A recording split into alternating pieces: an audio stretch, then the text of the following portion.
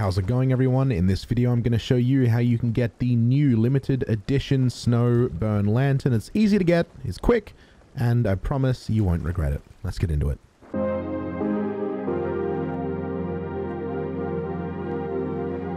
So without further ado, what you want to do is make your way to North Star Sea Post located on H10. Once you've done that, make your way over here to the actual sea post itself, and you'll notice up by Suds, you're going to find a wondrous little bird. So you can you can take multiple ways up if you want to, but essentially just jumping on this little pillar is the best way to go.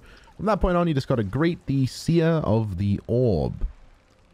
Once that is done, you will receive the Snowburned Ship Lantern. Now, this is very similar to the Christmas Orb we got about a year ago, and is currently the centerpiece feature in the Sea of Thieves Gift of Giving stream. I believe that's what it's called. Uh, but anyway, from here, it's sort of like the Fallen Sea Dog Lantern. It's a very, very uh, limited time lantern that you can use forever. It's real easy to get. That's it. Uh, hopefully this video has uh, taught you something new. If you do want it, feel free to go get it. Um, thank you for watching. Have a good day, night, evening, afternoon, whatever it is, wherever you are. Stay groovy. I'm going to catch you all in the next video. Goodbye for now.